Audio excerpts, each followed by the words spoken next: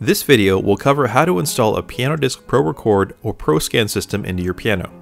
The installation is the same for both systems, the only difference is in the setup, which we will cover later. This is the new Pro Record control box. It has several new features. It's now Bluetooth ready, has a new design that you can tilt up or down for better visibility, and a USB port on the front. There are also new optical key sensors and a redesigned harness cable as well. The first step is to remove the action from the piano. Then remove the stack and keys from the keyframe and place them upside down on a bench that is supported by two long pieces of wood to level the bottom of the keys. This is to prevent the keys from moving when you mark them later on. Locate the paper jig and reflective tape in the kit. Starting with keys 1 and 88, place the template on the front of the bottom of the key and place a mark at the 83mm line from the template.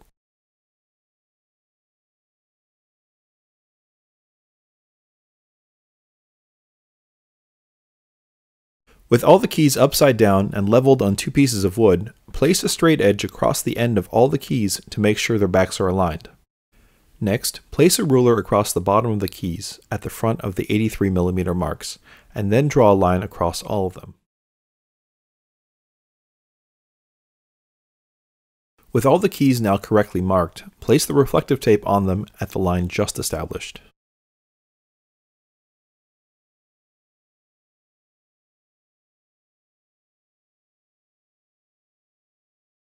Place the optical sensor strip on the keyframe near the front rail and black keys at each of the mounting locations.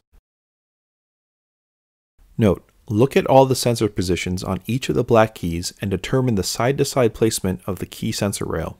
The sensors must be under each key.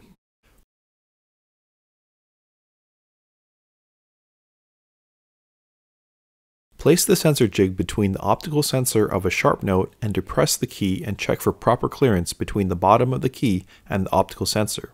There should be a little amount of friction when you slide the jig back and forth. Use plywood or other material as a spacer to bring the rail up to maintain 3 to 4 millimeters of clearance between the sensor and the bottom of the sharp key. Front punchings can be used as a final adjustment. Note, always use a sharp key to measure clearance as the key dip is closer on sharp notes. Continue to check the clearance at all the mounting locations. Next, secure the sensor strip to the keyframe with the screws provided. In some cases, it may be necessary to drill additional mounting holes in the sensor strip to line up the keyframe slats. If so, mark the places where the new mounting holes need to be. Take off the sharps and use a drill press to drill the new holes that you marked.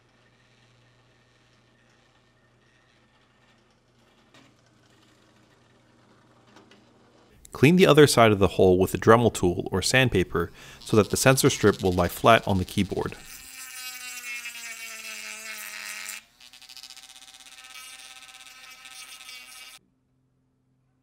Next, use a punch to mark and drill the mounting holes into the keyframe.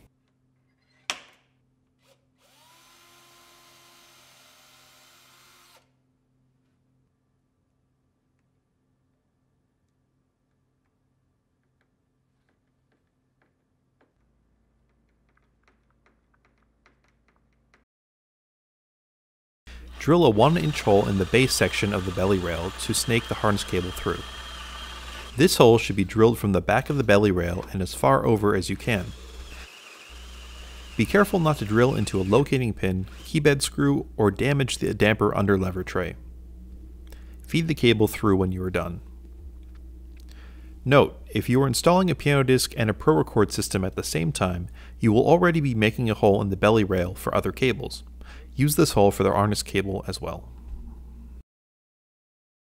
Get the pedal stems and sensors from the kit. The sensor can be adjusted along the stem or even flipped around to fit different types of piano pedals. Note that the stem is oversized and will be cut later on. Each sensor has a felt spacer tab. Adjust the sensor so the spacer tab just clears the lever. Note that the pedal sensors need to be placed so that the lever moves away from the sensor.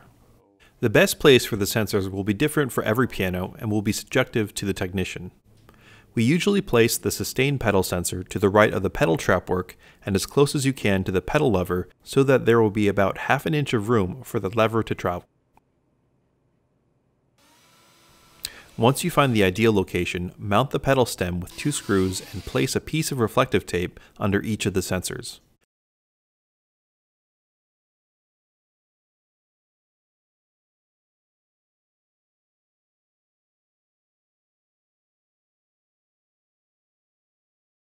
After you're done, mark the pedal stem for cutoff, making sure to leave an extra 1 8 of an inch of stem beyond the sensor and remove it to cut.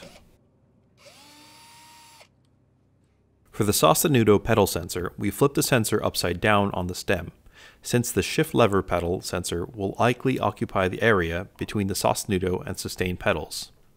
This limits our room so we place it to the very edge of the back side of the Sostenuto pedal.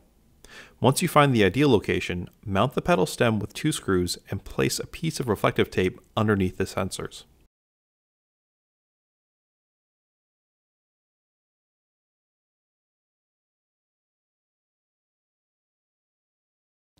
After you are done, mark the pedal stem for cutoff, making sure to leave an extra 1 8 of an inch of stem beyond the sensor, and remove it to cut. As was mentioned in the previous section, the shift lever pedal sensor will go in the area between the sostenuto and sustain pedals. This position is usually the ideal place to put the pedal sensor because there isn't enough room between the sostenuto and shift lever. Once you find the ideal location, mount the pedal stem with two screws and place a piece of reflective tape under each of the sensors.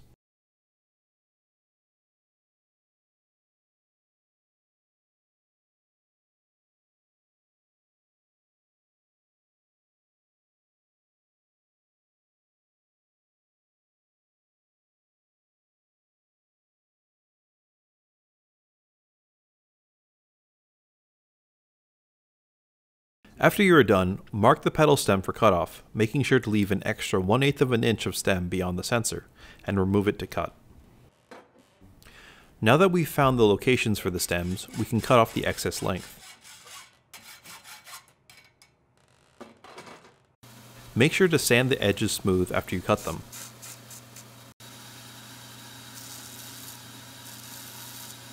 You can also use a permanent marker to darken the edges and the top. After you finish cutting the pedal stems, mount them back onto the piano and attach the sensor. Note, each pedal sensor has a paper ID attached to the plug indicating which pedal sensor to connect to. Carefully route the cables to the pedal sensors, making sure that the cables aren't hitting the pedal trapwork. After you've determined where the pedal cables need to go, neatly tie them up. Try to get them as neat as possible, making sure that there aren't any cables hanging from the keybed.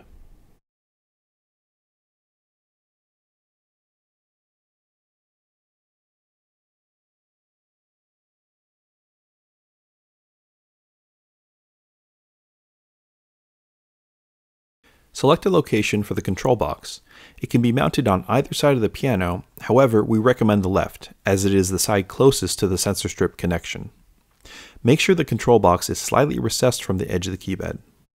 After selecting a location, mount the control box to the keybed using the mounting screws in the assembly kit bag. If your piano has a PianoDisc player system installed, use the PianoDisc slash ProRecord cable that is connected between the record port of the PianoDisc CPU unit and the extension port of the ProRecord unit. The extension port is located on the right side of the ProRecord control unit. If a PianoDisc system is not installed, use the 9 volt AC adapter on the back of the control unit. Secure all the wires with the ties and clamps that came in the assembly bag.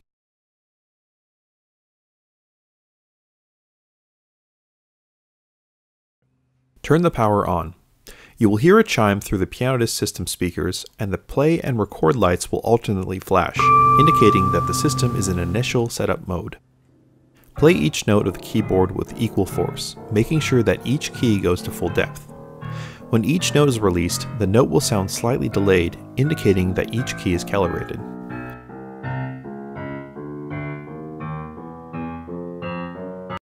Now that the notes are done, press each pedal with equal force and to full depth.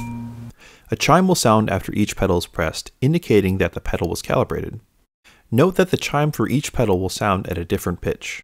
After you are finished with the pedals, press the play button. If all the keys and pedals were successfully calibrated, a chime will sound and the play and record lights will stop flashing. First, turn ProScan on. At this point, the play and record lights on the front of the ProScan box should be alternately flashing indicating that the system is in initial setup mode. Unlike ProRecord, you won't hear any sounds when you calibrate ProScan. Play each note on the keyboard with equal force, making sure that each key goes to full depth.